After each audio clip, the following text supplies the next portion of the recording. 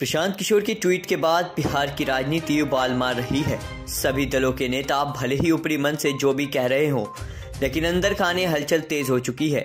इसी क्रम में अब बिहार के पूर्व उप मुख्यमंत्री और राज्यसभा सांसद सुशील कुमार मोदी ने भी ट्वीट कर अपनी प्रतिक्रियाएँ रखी।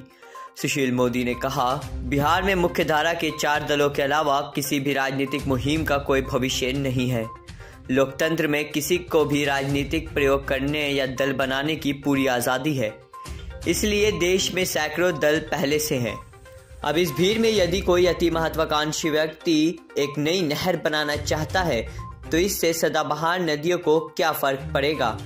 आगे वह कहते हैं, जनता के मन मस्तिष्क में गहरे स्थापित किसी राजनीतिक दल के लिए चुनाव रणनीति बनाना नारे, पोस्टर घोषणा पत्र आदि बनाने में किसी पार्टी की मदद करना या इस अभियान को बहुत पेशेवर ढंग से पूरा कर लेना एक बात है।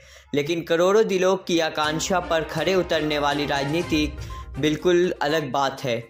जिनको वर्ष तक अलग अलग पार्टियों के साथ अलग अलग राज्यों में काम के बावजूद जनता के मुद्दे समझ में नहीं आए, वे अब अकेले क्या तीर मार लेंगे? अब ऐसे में सवाल यह उठता है कि क्या बिहार में या देश में छोटे दलों की कोई अहमियत नहीं है।